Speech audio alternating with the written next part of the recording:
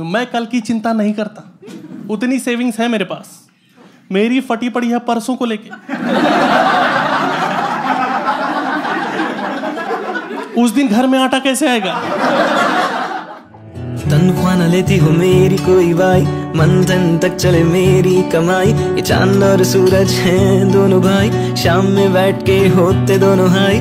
पोलो में मिंट है या मिंट में पोलो और इस फकीर को क्या चाहिए तुम बोलो। मैं कुछ अपने बारे में बताता हूँ। देखो, लोगों को ज़िंदगी में बहुत सारे भ्रम होते हैं। मुझे भी रहे जैसे मेरे माँ बाप मुझ पर बहुत ज़्यादा गर्व करते हैं। ऐसा मुझे लगता था। ऐसा है नहीं। वो मुझसे निराश नहीं है, वो टूट चुके हैं। मेरे पापा मुझे इंजीनियर बनाना चाहते थे बट मेरे को आर्ट्स में इंटरेस्ट था तो मैं आर्टिस्ट बन गया। तो कोई मेरे पापा से पूछता, गुप्ता जी, आपके बच्चे करते क्या हैं? तो बोलते हैं, बड़ी लड़की इंजीनियर है, छोटी अकाउंटेंट है, और लड़का आर्टिस्ट निकल गया।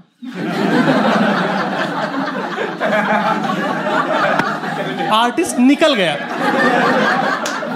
ऐसे बोलने जैसे गंजेड़ी निकल गया। ये सुन के मैं टूट जाता हूँ। और फिर मैं अपनी माँ के सामने जाके गाना गाता हूँ कि क्या मैं इतना बुरा हूँ मैं माँ तो माँ कहती है हाँ प्रॉब्लम तो है बेटा तुम्हारे अंदर। और ये दोनों मुझसे इतने ज़्यादा निराश, इसके पीछे रीजन है कि लूज रहा हूँ लाइफ में। बचपन से ही पढ़ाई में कमज़ोर था। मेरी मैथ बहुत ज़्यादा कमज़ोर थी। मेरी मैथ इतनी कमज़ोर थी कि पढ़ते पढ़ते मेरी गणित फट गई।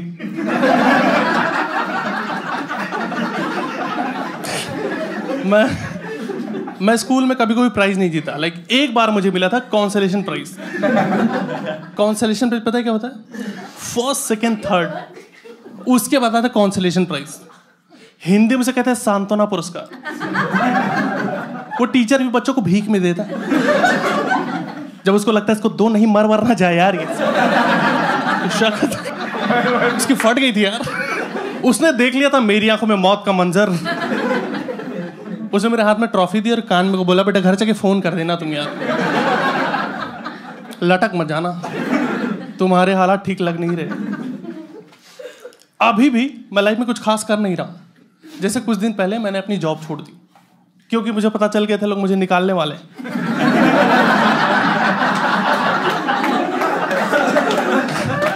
एक्चुअली मेरा उस काम में मन नहीं लग रहा था। मुझे हमेशा लगता था, मैं किसी और चीज़ के लिए बनाऊँ।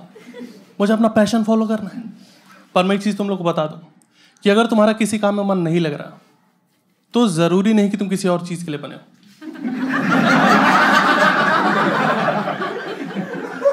हो सकता है तुम हराम खोर हो।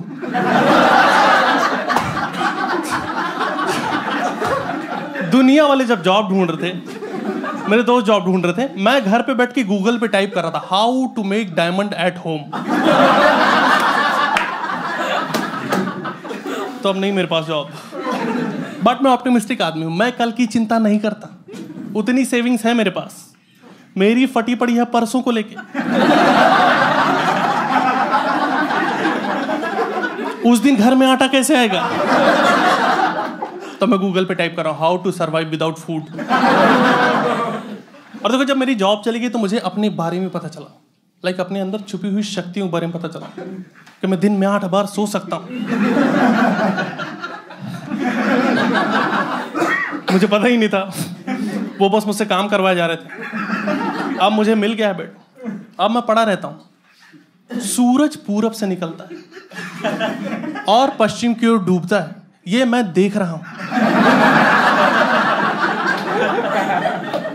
और मैं जाके बाहर लोगों से बता रहा हूँ, दोस्त सिर्फ़ कहावत नहीं है। मैंने देखा है। लाइव मेरी बॉडी में पेन रहने लगा। लेटे लेटे।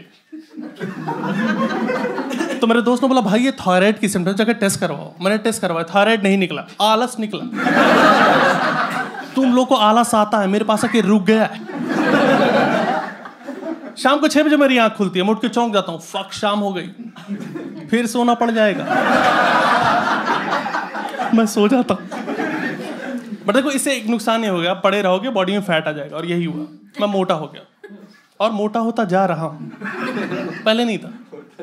एक तो मैं पढ़ा हूँ, दूसरा रीजन ये भी मैं खाता बहुत हूँ। मुझे खाते खाते भूख लग जाती।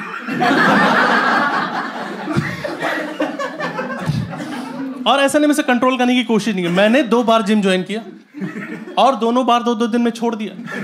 ये मुझे मोमोज खाने से मना कर रहे थे।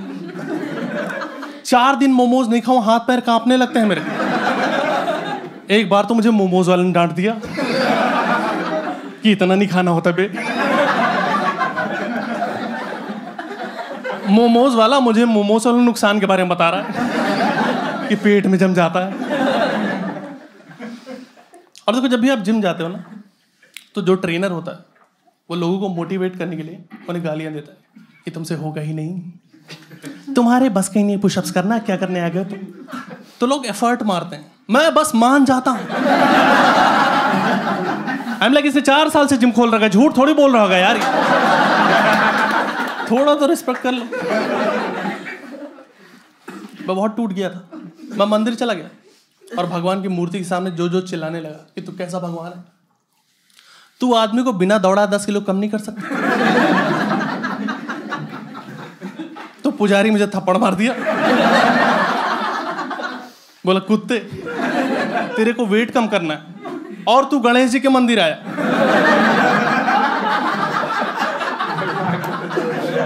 वो भी तीन किलो लड्डू लेके। चूतिए। ऐसे नहीं होगा। अब पुजारी मुझे टिप्स दे रहा है। बोला, ब्रो, तू एक काम कर। तू स्विमिंग कर। स्विमिंग करने से वेट कम होता है। और ये बात सही है। आप स्विमिंग करो, वेट कम होता है। बस तुम्हें पानी में जाते ही मज़े ना आने लगे मैं पानी में जाते ही अपने गेम शुरू कर देता हूँ। मैं पानी में जाता हूँ और कच्चे में हवा भर लेता हूँ।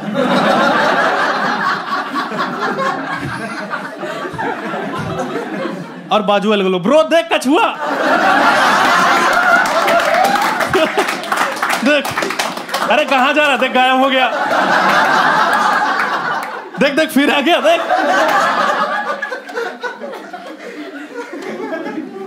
अपनी बकचोदी चल तो मुझे ये चीज़ समझ मैं फिजिकली एक्टिव हो नहीं सकता, मुझसे नहीं होगा, भाग दौड़, खेल कूद। बट मेरे को वेट कम करना है। तो उसका कुछ सॉल्यूशन निकाल रहा हूँ कि मैं अपने खान पान में सुधार लेकर आऊँ। और उसके लिए मैंने नई थ्योरीज बनाई कि अगर मैगी को ग्रीन टी में उबालो तो फैट तो काट ही देगा वो।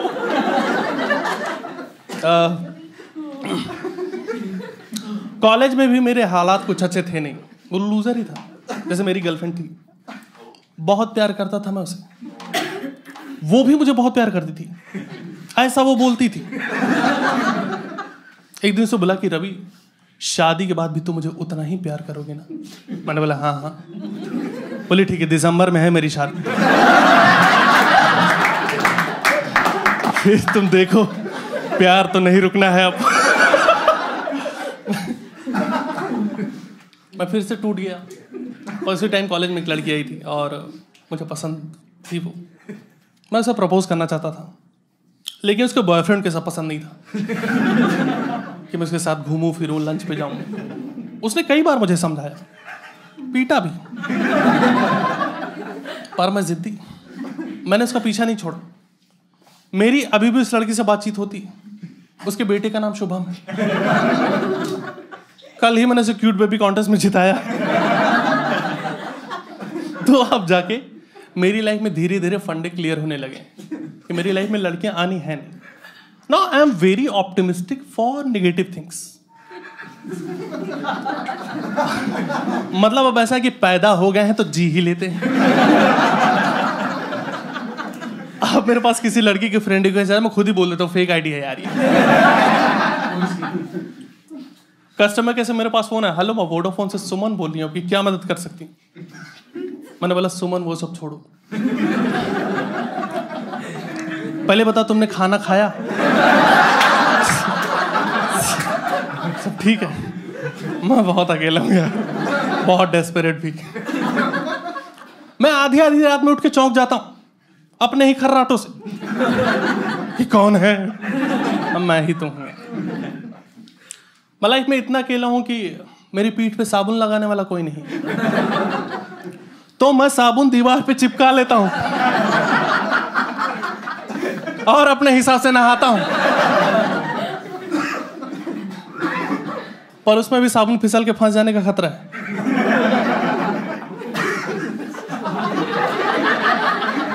कुछ लोगों को समझ आ गया। कुछ लोग रात में समझेगा, ओहो। क्या ही बोल गया वो हराम ज़्यादा नमस्कार, सबसे पहले तो थैंक यू सो मच तुम लोगों ने यहाँ तक पहुँचे हो तो इसका मतलब तुम लोगों ने पूरा वीडियो देख लिया है। अब बस कमेंट बॉक्स में कमेंट करके बताओ कि कैसा लगा वीडियो वीडियो को लाइक शेयर सब्सक्राइब और बेल आइकन ये सब आप खुद ही कर लोगे। आपको अच्छा लगा होगा तो नहीं अच्छा लगा तो नहीं करना, कोई दिक्कत नहीं है। पर कमेंट ज़रूरी है और सबसे ज़्यादा ज़रूरी है मुझे इंस्टाग्राम पे फॉलो कर लो बिकॉज़ वहाँ पर मैं अपडेट देता हूँ कि नए शोज़ कहाँ हो रहे हैं। कुछ कुछ वीडियोस डालता रहता हूँ सो सीधा हमारा कनेक्शन बना रह सकता है और नया वीडियो जल्द ही डालूँगा तो वो भी आपको बेल आइकन दबाया होगा तो सबसे पहले अपडेट आपको मिल जाएगा। तो इसलिए ज़रूरी है बेल आइकन दबाना। बस बाकी सॉर्टेड है सीन मज़े करो, मिलते हैं अगले वीडियो में। और इस फकीर को क्या चाहिए, तुम बोलो।